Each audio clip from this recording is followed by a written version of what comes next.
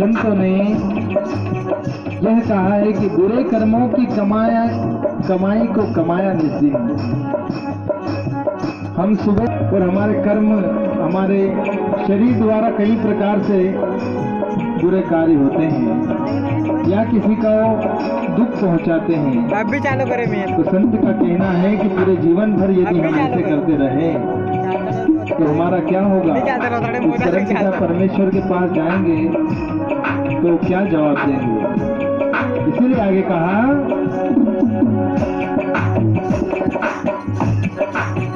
काल के जाल में रमते रहे यूँ ही सारे।